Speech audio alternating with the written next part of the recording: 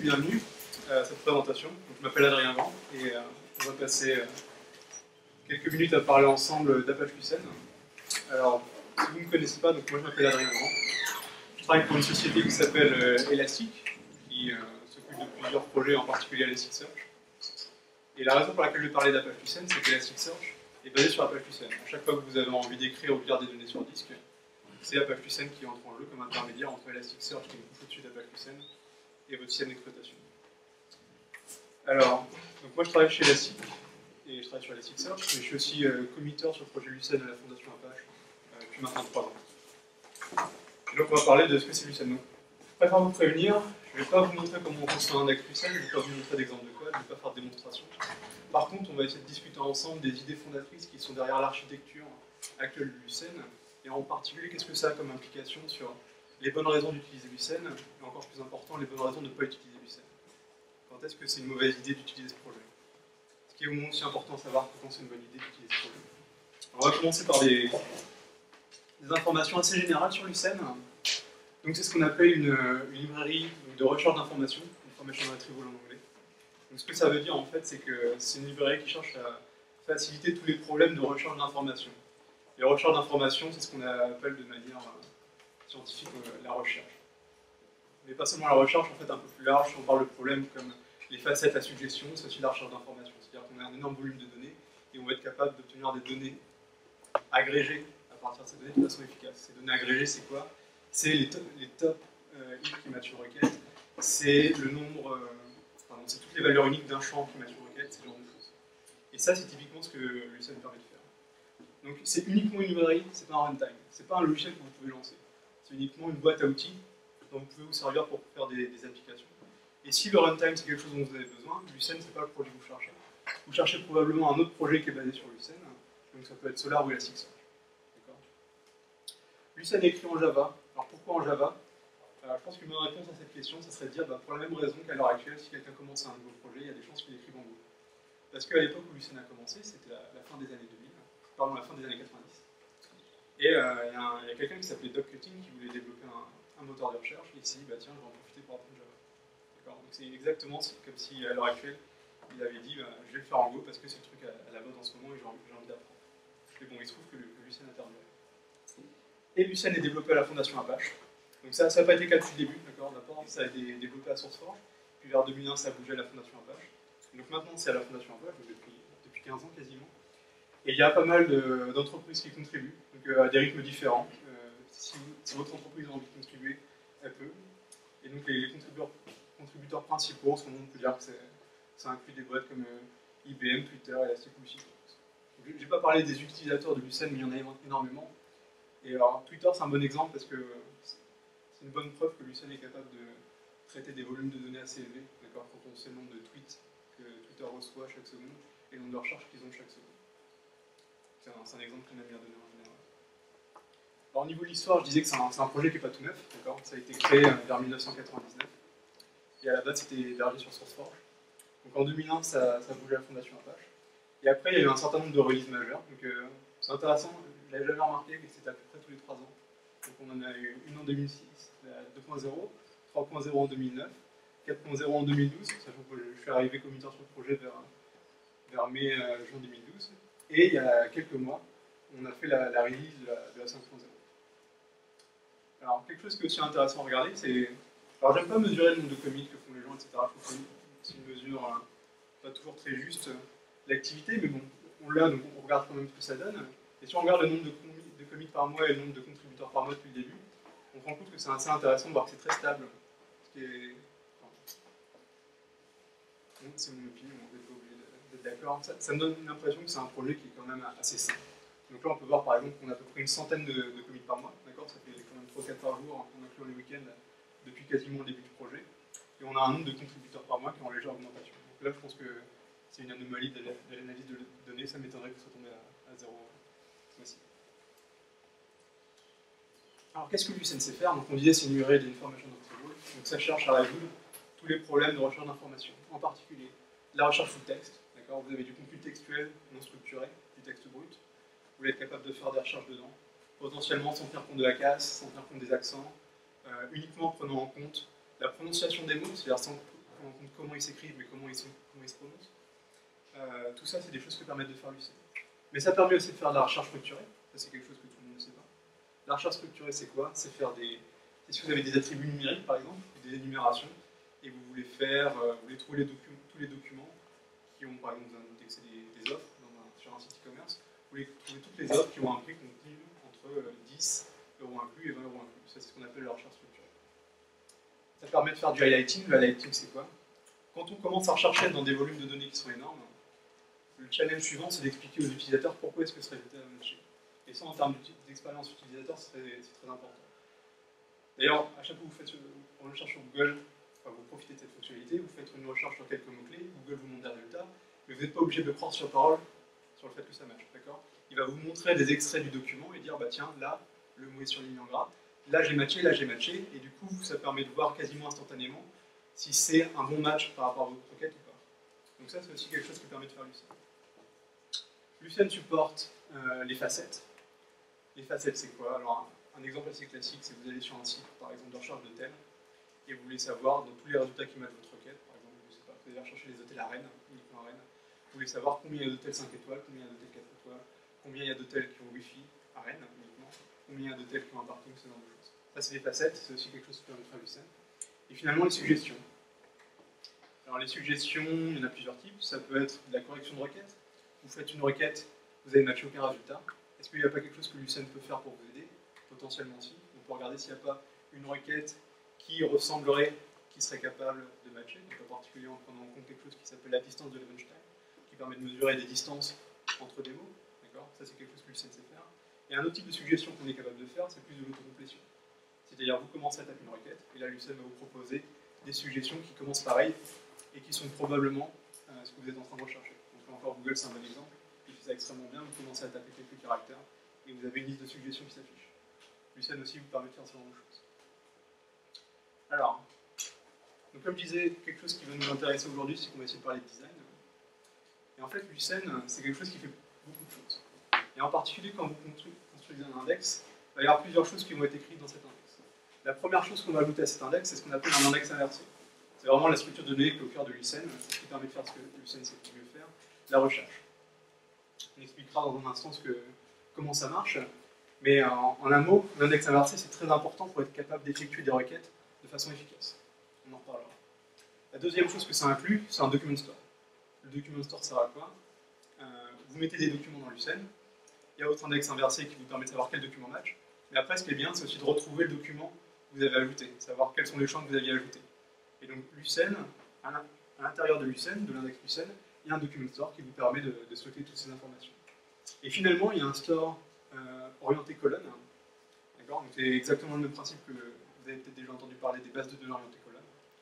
Donc les, données orientées colonnes, c'est extrêmement pratique parce que vous pouvez lire des données pour plein de documents de façon linéaire extrêmement efficace. Et donc c'est très, très utile si vous voulez faire des choses comme euh, des agrégations, des facettes, ou alors trier vos documents en fonction d'un certain choix.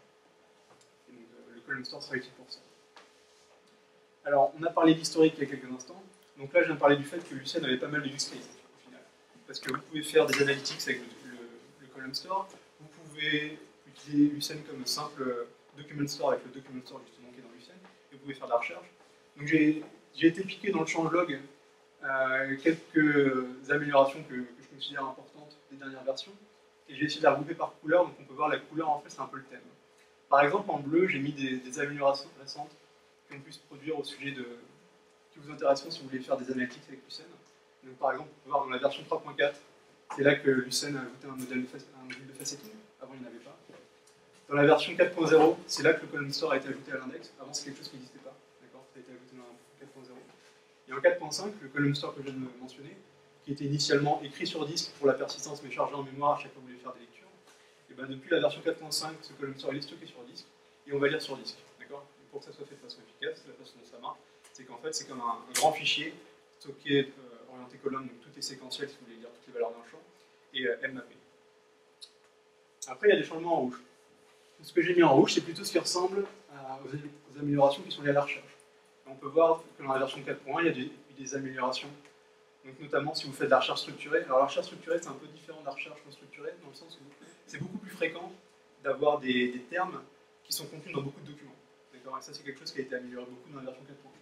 Pareil, si vous voulez utiliser un, un, champ qui est une clé primaire, c'est quelque chose qui a été amélioré aussi dans la version 4.1. Et enfin, il y a aussi des améliorations dans la version 5.1 quelque chose, donc le mettre au moins. Dans la version 5.1, qui est sortie euh, assez récemment, quelque chose qu'on a amélioré, c'est euh, l'exécution en deux phases. Je ne vais pas expliquer comment ça marche, mais en gros, ça permet d'exécuter beaucoup plus efficacement toutes les requêtes que vous pouvez découper en deux parties. Une partie qui est peu coûteuse et une partie qui est plus coûteuse. Un exemple typique, c'est les requêtes sur des phrases. Vous voulez chercher QuickFox à des positions consécutives. La partie pas coûteuse, ça sera de trouver tous les documents qui contiennent à la fois Quick et Fox. Et la partie coûteuse, ça sera d'aller lire les positions dans vos documents pour voir s'ils ont bien ces deux termes à des positions successives. Et donc il y a eu des, améliorations pour euh, notamment être capable de calculer des intersections de ce type de requête avec d'autres requêtes de façon plus efficace. Et après, le dernier, euh, la dernière couleur, c'est le vert. Ça, ça vous intéressera si vous avez, envie d'utiliser Lucene comme un, un document store. Et donc quelque chose qu'on a fait dans la version 4.1 qui n'était pas le cas avant, c'est qu'on ajoute de la compression de façon built-in au, au, document store. Avant, si vous vouliez compresser vos données dans Lucene, vous étiez obligé de les envoyer compressées dans le document store pour qu'elles soient stockées de façon compressée. Depuis la version 4.1, c'est quelque chose que Lucene va faire automatiquement et de façon beaucoup plus efficace parce qu'il sera capable de grouper plusieurs champs à la fois, ce qui permet d'avoir des ratios de compression qui sont. Et dans la version 4.8, par exemple, on a, assez fortement amélioré la, sécurité de l'index en ajoutant des checksums à, tous les fichiers, ce qui permet de détecter les erreurs qui sont dues, bah, par exemple, au fait que il y a un outil qui a été corrompre le fichier, un virus par exemple, qui a été corrompre un fichier de façon. Euh, euh comment dire Il a fait de, qui a été corrompu un fichier de façon explicite. Vous allez pouvoir le détecter, mais c'est aussi vrai si vous avez un problème d'hardware, si vous avez un disque qui a une défaillance. C'est quelque chose qu'on va pouvoir, dont on va pouvoir se rendre compte avant d'avoir une erreur au moment de la lecture. Ça permet de détecter les erreurs plus tôt. Donc voilà. C'était pour mettre un, petit peu de perspective sur les, fonctionnalités que décrire. Donc maintenant, on va arriver à la, slide la plus importante de la présentation. Je vais vous expliquer ce qu'on stocke exactement dans cet index et comment ça marche. Alors la première chose à savoir, c'est qu'un index, en fait, c'est découpé en quelque chose qu'on appelle les segments. Un index est composé de plusieurs segments. Chaque segment contient ses données, et en fait, quand vous voulez chercher des données dans un Lucene, vous allez chercher dans chaque segment séquentiellement. Et les résultats de votre recherche, bah, c'est la concaténation de tous les résultats sur tous les C'est pas plus compliqué que ça reviendra dans quelques instants sur la, raison de ce choix des segments. Mais d'abord, on va expliquer ce qu'on stocke dans un segment. Donc d'abord, dans un segment, il y a une première partie qui est la grosse partie qu'on appelle le segment core. Et ça, ça contient toutes les structures de données principales. En particulier, on va avoir le document store. Donc quand vous ajoutez des, des, données à un segment, en fait, au fur et à mesure qu'ils sont ajoutés, ces documents vont avoir un, identifiant interne qui est, uniquement utile à Lucene, qui va être euh, auto-incrémental depuis zéro. Donc le premier document qu'on ajoute, par exemple, là je fais un index qui va contenir des, des conférences. Pour le document 0, c'est le premier que j'ai ajouté, j'ajoute des informations sur Brescamp. Donc le nom de la conférence c'est Brescamp, la, localisation c'est Arène. Et le deuxième document que j'ajoute, ça parle de Devox, et euh, c'est basé à Anvers, en, Belgique. cet identifiant interne que Lucene génère de façon euh, automatique par segment, c'est quelque chose qu'on appelle le doc ID. Et ce doc ID va être utile pour communiquer entre les différentes API, on va l'expliquer dans un instant. Et ce qu'on a à côté dans le, document store, c'est les stored fields si vous êtes familier avec les Lucene, c'est peut-être quelque chose que vous avez déjà entendu.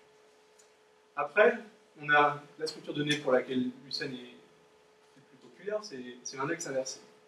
Cet index inversé, il va stocker les mêmes données, ou presque, mais d'une façon différente. Donc là, par exemple, j'ai choisi de faire un index inversé uniquement sur le champ nom, d'accord, le champ localisation. En fait, on n'est pas obligé de tout indexer. Dans ce cas-là, j'ai choisi d'indexer uniquement le champ name. Et donc, comment ça marche? Et eh bien, en fait, on va faire correspondre chaque terme unique, d'accord, à la liste des documents qui contiennent ce terme. Par exemple, le mot, euh, le token Braze est contenu uniquement dans le document 0, d'accord? Et en fait, on va encoder deux choses. Document frequency, c'est le nombre de documents qui contiennent ce terme. Et après, les postings, c'est la liste des doc ID qui contiennent ce terme. Donc Braze est contenu dans un seul document, docfrec égale 1, c'est le document 0. Et par exemple, si on regarde un autre terme qui est plus intéressant parce qu'il est contenu dans deux documents, c'est conférence. Qui est contenu dans deux documents, donc docfrec est égal à 2 et ces deux documents sont identifiés par 0 et 1. 0 et 1.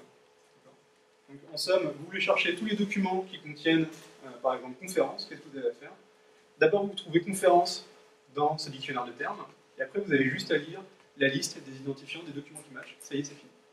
C'est la raison pour laquelle Lucene est rapide. Lucene cherche à après calculer autant d'informations possible que, possible pour la recherche. D'accord? On voit bien, c'est ce que je viens d'expliquer. Vous voulez faire une recherche sur un terme, il n'y a aucun calcul vraiment à faire, il y a juste à lire les données sur disque. Donc c'est la raison pour laquelle Lucien est si rapide. Quelque chose que j'ai oublié de mentionner qui est important, c'est que ce dictionnaire de termes, il est trié par ordre alphabétique. Et c'est pour ça que c'est facile de faire des recherches dedans. Donc l'algorithme de recherche est un peu plus compliqué que ce que je vais dire, mais la façon dont ça marchait, par exemple, jusqu'à la version 1.3, c'est que ça fonctionnait un petit peu comme la recherche binaire. D'accord? On tape au milieu, est-ce que c'est plus grand, est-ce que c'est plus petit, et à chaque fois, comme ça, on divise le problème en deux, et on trouve le terme de façon assez rapide. Et le troisième truc dont j'ai parlé, c'est euh, le column store. Donc là, par exemple, j'ai deux champs qui sont euh, le prix et la popularité. D'accord? Et en fait, je vais avoir un champ, un stockage orienté colonne pour chacun de ces champs. par exemple, pour le prix, je vais stocker consécutivement 42 puis 1242. Pour popularity, je vais stocker consécutivement 1010. Et ce column store, comme je disais la slide précédente, il est utile pour trier pour les, pour les agrégations. Donc, euh, cas concret. Vous voulez calculer le prix moyen de toutes les conférences qui contiennent conférence dans le nom. La seule chose que vous avez à faire, c'est aller lire l'index inversé pour conférence. Ça vous donne des identifiants. Et pour tous ces identifiants de documents, vous allez voir leur valeur dans le, column store. Vous faites la somme, la somme et vous divisez par le nombre de documents que vous avez trouvés. D'accord C'est comme ça que fonctionnent les, facettes et les agrégations. En mettant en, relation toutes ces structures de données qui peuvent communiquer grâce au fait qu'elles utilisent les mêmes identifiants internes pour communiquer. L'identifiant du document store qui est utilisé comme index, c'est aussi celui qui est utilisé comme postings dans l'index inversé et comme euh, identifiant dans le column store. Et alors après, cette structure de données a un gros problème. C'est qu'elle est très difficile à mettre à jour. On imagine que vous voulez ajouter un nouveau document qui contient un nouveau terme que vous n'aviez pas vu jusqu'à présent. Je ne sais pas si on va ajouter un nouveau document qui sera sur le Riviera euh, Dev, la conférence qui se passe en même temps que, le Bracemont. Bah, du coup, vous avez deux termes que vous n'avez jamais vus jusqu'à présent. Du coup, si vous vouliez être capable de les ajouter à votre index inversé, vous devriez prendre votre fichier, faire de la place au milieu, ajouter vos données. Ça, c'est typiquement quelque chose qui est, hors de question en termes de performance. Euh, faire de l'espace au milieu d'un fichier, c'est. En fait, pour faire ça vraiment, vous auriez besoin de réécrire toutes les données qui sont après cet emplacement. Et donc, c'est juste pas acceptable. Et donc, la façon dont Lucene gère ce, problème, c'est que les mises à jour sur place ne sont pas supportées. Et si vous voulez ajouter des données, il faut ajouter un nouveau segment. On a le même problème au niveau des suppressions. Si vous vouliez supprimer Bracemap, il n'y aurait plus euh, aucun document qui contiendrait Brace. Et donc, pareil, vous avez des données au milieu de vos fichiers qui sont plus utilisées, vous auriez envie de compacter. Et ça aussi, vous ne voulez pas le faire tout le temps parce que, euh, parce que aussi c'est très coûteux, parce que vous êtes obligé de réécrire la quasi-totalité de votre fichier. Alors pour ce problème-là, la façon dont Lucene gère le problème, c'est que ça, tout ce que j'ai décrit jusqu'à présent, c'est segment score, segment core, pardon, et ça, c'est des données qui sont entièrement immuables. Ce que va faire Lucene, c'est qu'à côté, il va stocker un, un en fait de ce qu'on appelle les live docs. Et live docs, pour chaque document, ça va stocker un booléen, d'accord, 0 ou 1, pour dire est-ce que ce document existe ou est-ce qu'il a été supprimé. Donc on imagine qu'on veut supprimer Bracecamp, et bien ce qui va se passer, c'est que le, bit qui est ici va passer de true à false. D'accord Et Lucene, à partir de ce moment-là, considérera que ce document a été supprimé. Alors, je parlais de segments. Donc en fait, ce qu'on vient de voir, c'est un seul segment. Mais si vous commencez à ajouter pas mal de données à un index Lucene, ça va créer plusieurs segments. D'accord? Ces segments sont immuables, et si vous voulez ajouter des données, on ne met pas à jour des segments déjà existants, on en ajoute de nouveaux. voilà, on ajoute des segments. Les mises à jour sur place ne sont pas supportées. Donc là, c'est ce que je viens de dire. Euh, on ne peut pas juste faire de la place au milieu des fichiers. Donc ce qui va se passer, si vous ajoutez des données, on va créer de nouveaux segments. Si vous supprimez des données, on va passer les vitesses 0 dans euh, les live docs. Et si vous voulez faire une mise à jour de vos documents, en fait, on ne va pas changer les données dans l'index inversé. Ce qu'on va faire, c'est qu'on va marquer le document comme supprimé et le réajouter une fois la modification appliquée. D'accord? C'est comme ça que ça fonctionne. Mais après, ça pose des problèmes. Parce qu'on imagine, on continue d'ajouter et d'ajouter des segments. Au final, on pourrait se retrouver avec des milliers de, segments dans l'index. Et ça, ça pose des problèmes aussi, parce que si vous, tout, tout de suite, j'ai expliqué comment trouver tous les documents qui contenaient conférences, par exemple, dans leur description. Sauf que si vous avez 10 000 segments, trouver le terme dans le, dictionnaire de termes, c'est quelque chose que vous devrez faire 10 000 fois. Et ça, ça va tuer vos, performances de recherche. D'accord? Ça ne scale pas. Parce qu'au fur et à mesure que vous ajoutez des données, vous rendez plus coûteux la recherche. Donc la façon dont ça fonctionne, c'est que Lucene a un processus de merge en arrière-plan, d'accord, qui, de façon continue, on prend nos segments et on les fusionner ensemble de sorte de garder le nombre de segments total dans notre index un nombre raisonnable. Donc c'est utile pour deux raisons. D'abord, ce que je viens de dire, le nombre de segments total est limité, ce qui fait que la recherche reste rapide, mais c'est aussi utile pour une autre raison. Si vous vous rappelez, quand on supprime des documents, on passe juste un bit à zéro, et du coup ça pose un problème. Comment est-ce qu'on récupère l'espace disque? Et ça c'est quelque chose qui sera fait au moment où ce segment sera fusionné, sera mergé. Quand plusieurs segments sont mergés entre eux, ça crée un nouveau segment qui contient tous les documents des segments qu'on a mergés, sauf les documents qui étaient marqués comme supprimés. Alors ça c'est important parce que c'est une question qu'on attend en sur la liste utilisateur. J'ai créé un index, j'ai beaucoup de données, j'ai supprimé des documents, et j'ai pas vu l'espace disque revenir. Pourquoi? La raison, c'est simplement, il n'y a aucun merge qui s'est produit pour l'instant. Il faut attendre encore un peu qu'un merge soit schedulé, et une fois que le merge aura tourné, les segments dans lesquels les documents ont été supprimés auront été réécrits dans un plus gros segment qui contiendra, qui contiendra plus ces documents supprimés. Et du coup, c'est à ce moment-là qu'on va récupérer l'espace disque. Alors, ce processus d'écriture et de fusion des segments, c'est quelque chose qui a un coût quand même, d'accord, en termes de CPU, en termes d'IO, parce qu'on lit beaucoup de données, on réécrit beaucoup de données. Vous comprenez bien que si vous fusionnez deux segments qui font 5 gigaoctets chacun, c'est-à-dire que vous avez besoin de lire 10 gigas sur le disque et d'écrire 10 gigas. Donc c'est quelque chose que vous n'avez pas envie de faire trop souvent non plus. Donc ça, il y a quelque chose qui contrôle ça dans Lucene qui s'appelle la merge policy, politique de merge, qui définit bah, quels sont les segments à fusionner de façon à limiter le coût total de merge sur l'index. Mais aussi, ça veut dire qu'il y a des choses dont vous devez être conscient côté utilisateur. Et en particulier, quand vous ajoutez des documents dans Lucene, ils ne sont pas écrits directement dans un segment. D'abord, ils sont uniquement stockés dans un buffer mémoire, et périodiquement, par contre, ils vont être mis dans un segment. Et ça, ce processus d'écrire un segment, c'est ce qu'on appelle un refresh ou un reopen. Les deux fonctionnent, si vous lisez les deux sujets de Lucene, ça veut dire la même chose. Et ce que ça fait un refresh ou un reopen, c'est que ça va prendre le contenu de votre buffer en mémoire, et ça va écrire un segment à partir de ce buffer. L'avantage, c'est que tant que c'était en mémoire dans le buffer, en fait, ces données ne sont pas cherchables. Par contre, une fois que c'est dans le segment, là, on a notre index inversé. C'est-à-dire qu'on peut faire de la recherche dessus. Donc, c'est l'avantage du refresh et du reopen. Et après, on a une deuxième opération qui est un commit, qui ressemble un peu parce que ça prend le buffer en mémoire et ça écrit dans un segment aussi. Mais après, ça va faire quelque chose de différent. Au lieu de rendre notre index cherchable, ça va faire quelque chose qui est important, c'est que ça va, pour tous les fichiers qui ont été écrits sur disque, appeler un appel système qui s'appelle le fsync. Le fsync, c'est important parce que tous les systèmes d'exploitation sont bâtis sur l'hypothèse que le disque est lent. Et en, fait, ils ont raison. Le disque est très lent. Et donc la façon dont il, dont fonctionne, c'est quand vous écrivez des données, même une fois que la fonction a retourné, les données ne sont pas encore sur votre disque. Elles sont dans quelque chose qu'on appelle l'OS cache ou le system cache.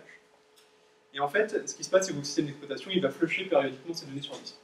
Mais après, quand vous êtes une base de données, parfois vous avez envie de vous assurer euh, que le système d'exploitation les a effectivement écrites. Parce que si vous dites à votre utilisateur que les données sont sur disque, mais qu'elles ne le sont pas, ça veut dire que si on coupe la machine à ce moment-là, bah, vous avez perdu des données.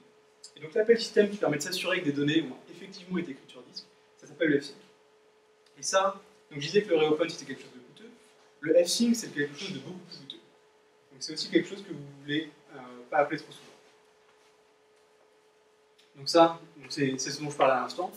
En termes de sécurité de vos données, une fois que vous les avez écrites, les seules données qui sont safe sur vos disques, c'est les données qui ont été écrites avant que vous avez appelé, donc l'appel, la fonction Lucene s'appelle commit. Tout ce qui a été écrit avant vos derniers commits est sauf, tout ce qui a été écrit après ne l'est pas. Qu'est-ce que ça veut dire? Ça veut dire que si vous avez besoin de meilleures garanties en termes de sécurité de vos données, il faut les écrire quelque part ailleurs. Donc il y a deux possibilités. Soit, soit vous avez une autre base de données qui vous fait office de, source de vérité, d'accord? Vous stockez aussi vos données dans Postgres, par exemple. Dans ce cas-là, vous n'avez pas vraiment besoin euh, de vous assurer que de committer très régulièrement dans Lucene. Mais une autre approche euh, qu'utilise par exemple Elasticsearch et Solar, c'est d'utiliser un, log de transaction. Et la façon dont ça fonctionne, c'est que ce log de transaction va contenir tous les documents qui ont été écrits depuis le dernier commit que vous avez fait dans Lucene. Et on imagine que vous continuez d'ajouter des documents. Ils sont mis en, mémoire dans le buffer Lucene et dans le log de transaction, et puis à un moment, vous refaites un nouveau commit côté et ben, ce qui se passe, c'est que le système d'exploitation va s'assurer que... Alors d'abord, Lucene va écrire les segments, après le système d'exploitation va s'assurer que les segments ont bien été écrits sur disque, et après, vu que ça a bien été écrit sur disque, il n'y a plus besoin de dupliquer les données dans le log de transaction, et donc on peut le, vider complètement. Donc ça, c'est quelque chose qui est utilisé par Elasticsearch et Solar, par exemple. Alors, Lucene est souvent qualifié de librairie un petit peu difficile à utiliser. Alors c'est vrai, il faut à la fois. C'est vrai parce que c'est quelque chose qui est quand même plus bas niveau que ce à quoi les développeurs sont en général habitués à, être exposés. Si vous prenez l'exemple de MySQL, c'est un petit peu comme si vous parliez directement à InnoDB, qui est le moteur de stockage de MySQL, au lieu de parler à MySQL. D'accord? Euh, L'autre raison, c'est que c'est un.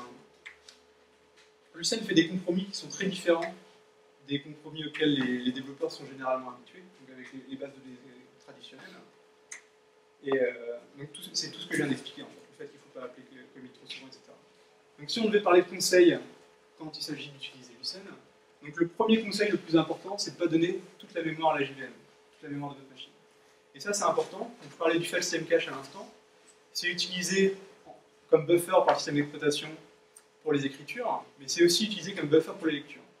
Qu'est-ce que ça veut dire? Ça veut dire que si vous allez lire des données sur disque à un instant T, vous allez faire autre chose, vous revenez pas longtemps après, vous relisez les mêmes données, il y a de grandes chances que vous n'ayez pas, euh, vraiment lire sur disque à ce moment-là, parce que ces données seront toujours dans le cache du file system, et du coup votre operating system, il ne va pas les lire sur disque, il va directement vous les renvoyer toute la mémoire.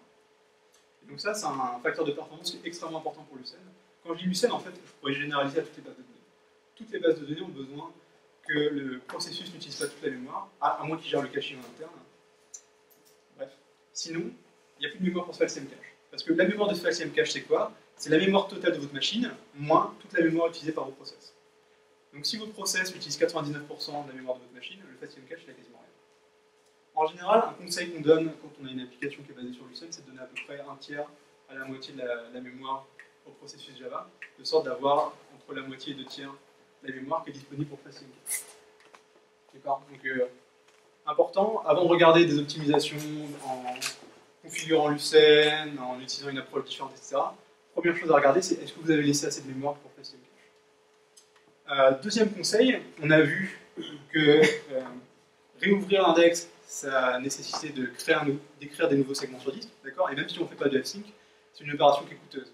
C'est une opération coûteuse pourquoi? D'abord ben, parce que tout ce qu'on était en train de construire en mémoire, ben, on va repartir de zéro alors qu'on aurait pu construire ce qui était déjà existant si on avait ajouté de nouveaux documents.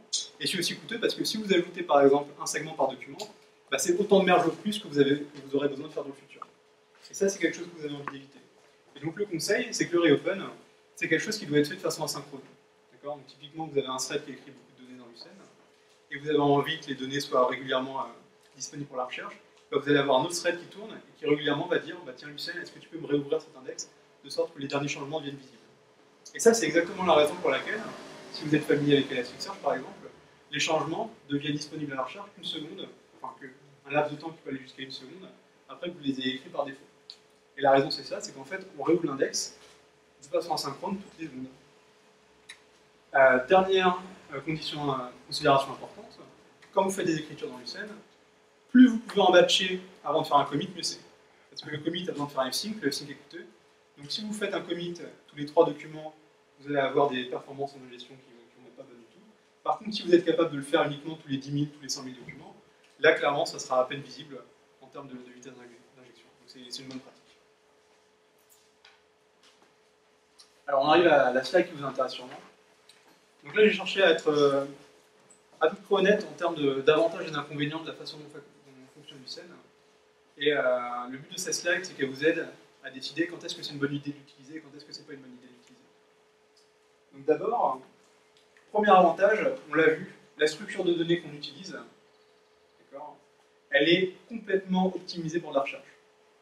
On l'a vu, vous voulez, chercher tous les documents qui contiennent un terme, il n'y a rien de plus simple. Vous trouvez le terme dans votre dictionnaire de termes, vous n'avez plus qu'à lire. Vous avez vos résultats. D'accord? Donc ça veut dire que Lucene, à partir du moment où vous aurez un workload qui est plus, euh, qui est plus dirigé vers la lecture, en fait, ben, il y a des chances que ça permette d'apporter bonnes choses. La deuxième chose qui est extrêmement importante, c'est que ça permet de faire des intersections sur plusieurs champs à la fois. Si vous êtes familier avec les bases de données traditionnelles, je ne sais pas si vous avez déjà fait un explain sur une base de données euh, SQL, si vous, avez une recherche assez complexe, il y a un optimiseur de requête qui va, essayer de rechercher quel est l'index le plus efficace, le plus sélectif en fait, à utiliser pour que la requête s'exécute de façon la plus efficace. Et ça, en fait, c'est quelque chose qui n'existe pas côté Lucene, parce que même sur plusieurs champs à la fois, Lucene est capable de calculer des intersections d'index. Et ça, c'est dû à la façon dont c'est euh, designé. On a vu qu'il y avait ces doc ID, qui sont comparables entre différents index. Et ça, ça permet de faire des intersections d'index, pas seulement si c'est deux termes différents dans le même champ, mais aussi si c'est deux termes différents dans deux champs différents. Et donc, si vous commencez à avoir des, requêtes un petit peu complexes, qui ont besoin euh, d'utiliser des index sur plusieurs champs à la fois, bah, il y a de grandes chances que Lucene soit capable de faire des choses plus intéressantes qu'une base de données plus traditionnelle. Après, le fait d'avoir plusieurs choses dans le même index, donc un store, un, un store orienté colonne, un document store et euh, un index inversé, ça permet de combiner les fonctionnalités de façon intéressante, et c'est exactement ce que je disais euh, au moment où j'ai décrit la structure de données. C'est que vous êtes capable de combiner des recherches euh, structurées avec des agrégations, par exemple. Et si vous voulez calculer des statistiques uniquement sur les documents qui matchent une certaine requête, c'est un problème qui n'est pas plus compliqué que chercher les documents qui matchent cette requête ou calculer des statistiques sur l'ensemble de votre index. Lucene sera capable de faire automatiquement la chose efficace, c'est-à-dire de calculer les informations uniquement sur les données qui matchent votre requête. Donc ça, c'est en mettant, à mettre en perspective par rapport à d'autres bases de données qui pourront uniquement faire des full scans euh, si vous avez besoin de calculer des statistiques euh, sur vos champs. Alors maintenant, on arrive à la, colonne qui est encore plus intéressante, c'est euh, quand est-ce que c'est pas une bonne idée d'utiliser Lucene Alors le premier point, c'est un point que j'ai déjà mentionné à quelques reprises, Lucene ne vous permet pas de faire du real-time complet.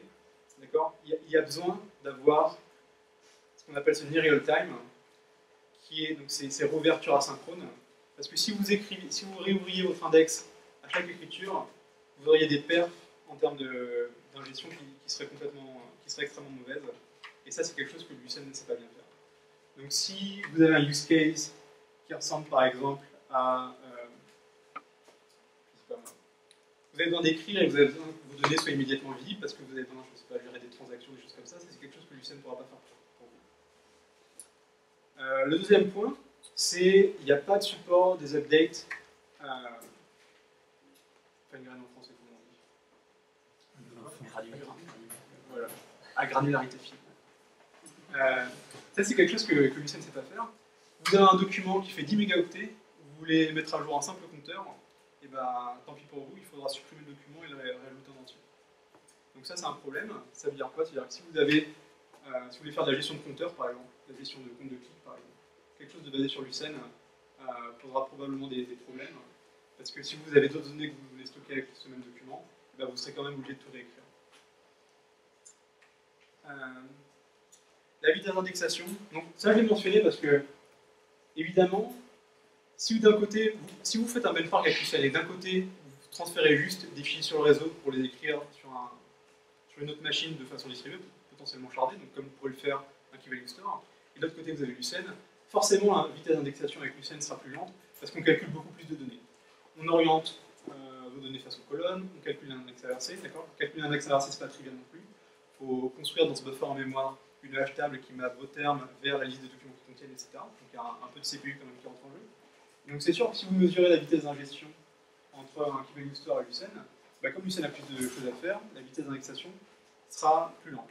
Donc, le trade-off est clair, d'accord? C'est on vous expose des fonctionnalités à la recherche, il va faut payer le prix à l'indexation. Alors cependant, c'est extrêmement facile, d'accord, si vous suivez les bonnes pratiques de laisser de la mémoire au système d'exploitation pour le FastM cache et de ne pas euh, lancer des reopen et des commits trop souvent. Avec des documents taille raisonnables, c'est euh, très courant d'avoir des vitesses d'indexation par nœud d'à peu près 10 euh, 000 documents par seconde, ce qui veut dire que vous pouvez indexer 36 millions de documents à l'heure. C'est quand même une vitesse d'indexation qui permet de faire pas mal de choses. Et en particulier, il y a pas mal de gens qui utilisent des solutions basées sur Lucene pour l'analyse de log, où ils ont justement besoin d'indexer des, dizaines de milliers de documents par seconde, et c'est quelque chose qui ne pose pas. Et finalement, un dernier point, si on a vu qu'on stockait plusieurs choses dans l'index, de façon différente, mais quand même plusieurs choses, et donc en termes d'espace disque, ben, on paye le prix. Alors, là où il y a quand même une bonne nouvelle, c'est qu'on choisit ce qu'on utilise, d'accord Vous n'êtes pas obligé de à la fois stocker, indexer et stocker de façon colonne. Vous pouvez dire, je veux uniquement indexer, je veux uniquement stocker, ou je veux uniquement stocker de façon colonne, ou je veux uniquement indexer et stocker de façon colonne, ou je veux uniquement stocker indexer, etc. Toutes les combinaisons sont possibles. Mais si vous voulez faire pas mal de choses avec vos données, souvent il faudra quand même les dupliquer plusieurs fois. Et par rapport à un stockage de données euh, moins spécialisé, euh, ça prend plus de place, mais ça a l'avantage d'être plus performant, enfin, performant spécialement. Ça a l'avantage d'être plus flexible, vous pourrez faire plus de choses avec. Parce que vous aurez vos données qui ont été dupliquées pour satisfaire chaque euh, pattern d'accès aux données dont vous avez besoin, donc, pour trier, pour de la recherche, ou pour récupérer vos, vos données originales. Alors, une note sur la, sur la compatibilité ascendante. Alors, quelque chose qu'il faut réaliser, c'est que c'est général, c'est pas propre à Lucene, c'est une mauvaise idée de faire de la utiliser un système, comment dire, un moteur de stockage de données à forte valeur ajoutée pour archiver des données. Ce que je veux dire par là, c'est que si vous, si vous êtes la NASA dans les années 60 et que vous voulez stocker des informations sur euh, l'alunissage, Lucene n'existait pas à l'époque, mais c'est pas quelque chose qu'il faudrait faire en Lucene. Parce que le trade-off de Lucene, c'est rendre vos données le plus exploitable possible. C'est pas de garder vos données exploitables pendant, pendant 70 ans. Alors pourquoi je dis ça? Parce que le hardware change et Lucene s'adapte au hardware. D'accord? Donc euh, si, si les hardware font que stocker l'index d'une façon différente devient plus efficace, c'est un changement constant. Si vous voulez archiver des données, il faut utiliser un système de fichiers le plus simple possible. Typiquement des, fichiers texte, euh, on peut plus vite. Et donc, qu'est-ce que ça veut dire en, termes de compatibilité? La version N de Lucene, N étant la version majeure, d'accord, donc 5.0, euh, 4.0, etc., ne peut lire que les indices qui ont été écrits avec la version N ou N-1. D'accord? Si vous êtes sur Lucene 5, vous ne pouvez plus lire les index qui ont été écrits par Lucene 3. Vous pouvez, vous pouvez lire que ce qui a été écrit soit par Lucene 4, soit par Lucene 5. D'ailleurs, alors là je parle de la compatibilité descendante, il n'y a pas de compatibilité ascendante. Si vous écrivez un index avec Lucene 5, vous ne pourrez pas lire avec Lucene 4. Même si vous écrivez avec Lucene 5.1, vous ne pourrez pas lire avec Lucene 5.0. D'accord? C'est quelque chose qui n'est pas possible. Et après, donc si vous commencez à vous amuser avec Lucene, vous verrez qu'il y, a plein d'API, mais elles sont assez bien séparées en deux API. Donc d'abord les API qu'on appelle publics, et après les API qu'on appelle soit experimental, soit internal. Donc internal, c'est celles qui sont réservées uniquement pour nous. On les expose de façon publique parce qu'on a besoin de les utiliser à travers plusieurs packages, mais euh, elles ne sont pas pour les utilisateurs. Et après, on a les API experimental, c'est des API intermédiaires où on aimerait bien les mettre publics, en même temps, c'est des pièces de l'infrastructure qui sont tellement importantes pour la performance qu'on a quand même envie de se garder le droit de les changer de façon brutale si jamais on, se rend compte qu'on peut avoir des, améliorations importantes en les changeant. Qu'est-ce que ça inclut comme API bah, Par exemple, pour les API publics, on a les classes vraiment très haut niveau comme IndexWriter, IndexSearcher, Query Document. Donc IndexWriter, c'est ce qui permet d'indexer des, données. IndexSearcher, c'est ce qui permet de chercher des données. Query, c'est l'objet qui permet de modéliser des requêtes, donc un, besoin d'information. Par exemple, trouver tous les documents qui contiennent euh, conférence, trouver tous les documents qui contiennent quand à une position consécutive de brace, de brace euh, etc., etc. Et document, c'est, vous êtes habitué, c'est euh, une collection de clés-valeurs qui décrit un, document. Et alors, les, API internal et expérimentaux dont je parlais, qu'est-ce que ça peut être? Bah, Ça peut être des choses comme euh, les collecteurs, les scorers ou les comparateurs. Si vous êtes familier à Lucent, peut-être que vous avez déjà vu ces concepts. Mais en gros, le scorer, c'est quelque chose qui va. Ça va être un itérateur sur vos documents matchent, qui va être capable de calculer un score pour chacun. Le collector, c'est quelque chose qui va être appelé pour faire des choses comme calculer des stats sur tous les documents matchent, ou alors calculer les, top matches. Et après, les comparators, c'est quelque chose qui peut être utilisé pour trouver, euh, si vous faites une recherche et que vous triez par la valeur d'un champ, euh, comparator, c'est un objet qui va être utilisé pour faire ça. Donc ça, c'est des API qu'on euh, dans, ce cas-là, euh, expérimentaux. On se réserve le droit d'échanger si on se rend compte qu'on peut avoir des bonnes améliorations. Voilà, donc c'est tout ce que je voulais dire sur Lucene. Euh, je vais finir par quelques slides sur quelque chose qui est, méconnu. Donc, euh, si vous avez envie d'apprendre à utiliser Lucene, il y a pas mal de documentation d'exemples en ligne. Si vous avez toujours des questions, il y a, des mailing lists utilisateurs que vous pouvez trouver très facilement. Moi, je vais parler de quelque chose qui est assez peu connu et qui est formidable quand on va apprendre à servir de Lucene. C'est quelque chose qu'on appelle le codec SimpleText. Donc, la version 4.0 a introduit la notion de codec qui permet en fait de configurer la façon dont les index sont stockés sur disque. Et le codec SimpleText est extrêmement intéressant parce qu'il stocke l'index sur disque uniquement avec des fichiers texte. Et ça, c'est super pratique si vous avez envie de vous familiariser avec la façon dont Lucene organise des fichiers sur disque. D'accord? Parce que vous pouvez les lire directement. Ce ne sera pas du binaire, du. Donc là, c'est un exemple où j'indexe plusieurs documents dans Lucene. Il n'y a pas vraiment besoin de comprendre. Hein. Euh, les lignes importantes, c'est ici, je configure mon index writer config pour utiliser le SimpleText codec. Après, je fais un premier document qui est au sujet de Bracecamp, la conférence des développeurs du Grand Ouest à Rennes, et qui a été fondée en 2011. Donc, je vais quand même euh, décrire un petit peu, parce que là, on a un champ text field qu'on a décidé de stocker, ce qui veut dire qu'il sera à la fois dans l'index inversé et dans le document store. Là, on a un champ text field avec la description qui n'est pas stocké, donc il sera uniquement dans l'index inversé. Là, on a un champ qu'on appelle stored field. Pardon. Et ça, en fait, c'est pour un document qui sera uniquement stocké mais pas indexé et ni euh, stocké de façon colonne. Et finalement, on a ce champ qu'on a appelé FormIDIR, et cette fois, on a créé un, champ qu'on appelle numeric values. Ça veut dire qu'il sera stocké uniquement de façon colonne. c'était pour vous montrer les différentes combinaisons qui sont possibles. Et j'ai fait pareil avec deux autres documents. Donc un premier sur Devox et un autre sur Riviera Dev. Alors ce qui est intéressant, c'est que j'ai fait commit après avoir ajouté deux documents ici, donc on devrait avoir un premier segment qui a deux documents. Et après commit après ce document-là, ce qui veut dire qu'on devrait avoir un deuxième segment qui a un document. Donc on va essayer de vérifier ça. Donc j'ai écrit mon index dans slash tmp slash myindex. Et, et, du coup, si vous lancez ce programme et que vous allez euh, lister le contenu du répertoire slash tmp slash myindex, vous allez avoir quelque chose qui ressemble à peu près à ça. Donc le fichier principal, c'est segment2. Bon, ça malheureusement, c'est le seul fichier qui sera stocké de façon binaire, parce que avant de pouvoir écrire les données en texte, il faut quelque chose qui dise quel est le codec qui est utilisé pour stocker les, pour stocker les données. Et ça, il est toujours stocké de façon binaire. On a un problème d'inception quelque part, ici. Donc ça, ça sera toujours de façon binaire, mais par contre, ces fichiers-là vont être stockés de façon texte. Donc ce fichier-là, euh, il est important parce qu'il décrit la liste des fichiers, la liste des segments qui composent l'index. Et donc en particulier, on a deux on a deux segments, le premier qui s'appelle underscore 0, le deuxième qui s'appelle underscore 1. Et après, on a plusieurs extensions qui correspondent à plusieurs parties d'index. Donc on va... Euh, donc ça, ça j'ai vraiment lancé cette commande. Je fais un cat du fichier underscore 0.ici. Alors .ici, en fait, ça veut dire segment information. Et donc dedans, on va stocker pas mal d'informations sur le segment. D'accord?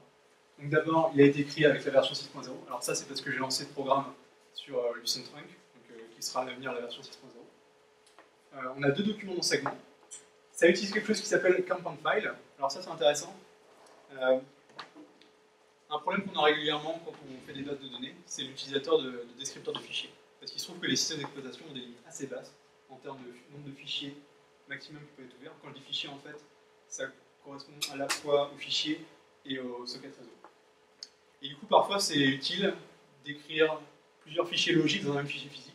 Et c'est ce que fait Lucene avec euh, ce command file. Et donc il se trouve que ce fichier SCF, en fait, c'est pas, pas une seule chose de l'index, ça, va regrouper plusieurs fichiers d'index. On va voir ça dans un instant. Et donc pour continuer à ce fichier, euh, il est principalement utile parce qu'il stocke pas mal de diagnostics. Donc ça, si, vous avez un problème un jour et envie de comprendre ce qui s'est passé, bah, c'est pas mal parce qu'il vous dira quelle est la version, quelle est la JVM qui a été utilisée pour écrire cet index, donc à la fois le vendeur, la version, etc. Quelle est la version Lucene qui a été utilisée, quelle est l'architecture, tout ça, c'est des choses qui sont assez faciles à récupérer avec Java et donc Lucene le fait. Quelle, est la date à laquelle l'index a été écrit? Et après, des informations sur le segment. Donc ce segment, qui s'appelle underscore 0, et ben, il est composé de deux fichiers, 0, underscore 0.si et underscore 0.cf. Après, on a un truc qui s'affiche mal parce qu'en fait, c'est pas vraiment du texte, c'est du binaire.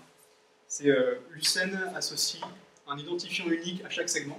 Alors ça, c'est utile parce que si vous créez un premier index après un deuxième index, les premiers segments vont avoir le, le même nom, underscore 0 c'est incrémental en fait.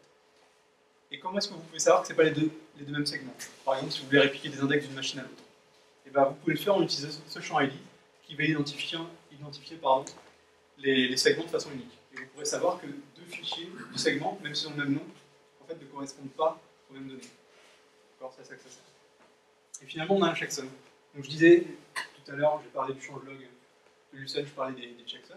Et ben, on écrit un checksum pour chaque fichier donc en particulier checksum, donc un CRC32 pour ce fichier-là, c'est cette valeur. Après, on a un deuxième fichier, donc qui est beaucoup plus long. Donc euh, là, j'ai mis trois petits points à la, fin pour dire que j'ai fini. Donc, je capte le fichier underscore0.cf, et comme je disais tout à l'heure, c'est un fichier euh, qu'on appelle compound, c'est-à-dire que c'est un fichier sur disque, mais ça stocke plusieurs fichiers logiques pour Lucene. Et donc en particulier, euh, le premier fichier que ça stocke, c'est le fichier qu'on appelle underscore 0.date, et alors ça, le fichier .date, c'est le fichier le format de fichier qu'on utilise pour stocker euh, le column store. Et donc on a vu qu'on avait ajouté un champ qui s'appelait euh, fin de dire à notre index. Et donc ce que ça nous dit, c'est que c'est un champ type numérique. La valeur minimum, c'est 2011. Et après, pour chaque document, ça nous dit euh, l'incrément ajouté à 2011 par rapport à la valeur et euh, est-ce que le document a une valeur? Je récapitule. Document 0 pour valeur 2011 plus 0. Et alors, document 0 a une valeur a t, et la valeur c'est 2011 plus 0. D'accord? 2011. Et document 2 a une valeur puisqu'il a un t, et la valeur c'est 2011 plus 1. Dans le cas du fichier texte, c'est pas important. Mais alors ce qui est intéressant de voir en fait, c'est que c'est exactement le même genre de stratégie que Lucene utilise pour compresser les données dans sa représentation binaire. D'accord? Au lieu de stocker toutes les données telles quelles, si par exemple toutes vos données sont comprises entre 2010 et 2015, au lieu de stocker une valeur entre 2010 et 2015 pour chaque il va stocker 2010 au début du segment et après uniquement le delta. Et comme ces nombres sont tout petits, en fait, on peut les stocker sur beaucoup moins d'espace disque que si on stockait les valeurs euh, originales. Et encore une fois, donc pour ce fichier .date, une fois qu'il est fini, on a un checksum. Après, on a d'autres données. Donc là, on a des données pour un fichier qu'on appelle FLD. Et FLD, c'est l'extension qu'on utilise pour le document store. D'accord Ce document store, il stocke quoi? Ben, On voit qu'on a un premier document qui est identifié par 0. Après, on a un champ qui est identifié par 0, d'accord Qui s'appelle name, qui est de type string et qui contient breakpoint. Un fichier qui est identifié par le numéro 2, qui s'appelle location, qui est de type string et qui a pour valeur euh, France. Et après, on passe à document, etc. Donc, euh, le column store est stocké comme ça. C'est assez fidèle à la façon dont ça marque la représentation binaire aussi. Et encore une fois, on a un checksum. Après, on a un autre fichier qui s'appelle euh, .pst. Et en fait, euh, ce fichier-là, c'est pour l'index inversé. Alors, qu'est-ce qu'on voit? Alors, d'abord, on voit qu'il va découper par champ. Donc, si vous avez plusieurs champs, vous aurez plusieurs index inversés, d'accord? Autant que vous avez de champs que vous indexez. Et donc, pour le champ euh, desk, par exemple, on voit que notre premier terme, c'est grand, qui est stocké dans le document 0 avec une fréquence de 1 et qui apparaît à la position 5. Après, on a West qui est stocké dans le document 0 aussi, qui a une fréquence de 1 stocké à la position 6. Assez intéressant parce que c'est bien si on cherchait Grand Ouest, comme euh, phrase, ce document maturait parce qu'on a West qui apparaît à une position successive à celle de Grand. Comme ça que fonctionnent les, requêtes de type phrase. Après, on a conférence. alors, celui-là est un peu plus intéressant, il est stocké dans deux documents. Document 0 et document 1. Et à chaque fois, dans document 0, il apparaît une fois à la position 1 et dans document 1, il apparaît une fois à la position 1. Bon, après, on a plein d'autres termes, d'accord, parce que j'avais mis 4 ou 5 termes euh, par, description. Après, ça finit, on a encore une fois un, un checksum. Voilà. Si vous avez envie de vous familiariser avec Lucene, c'est quelque chose qui n'est pas très connu, je vous recommande de jouer un petit peu avec ce codex SimpleText. Si vous avez envie de comprendre la façon dont Lucene fonctionne en interne, c'est extrêmement utile. Et c'est tout ce que j'avais à vous dire.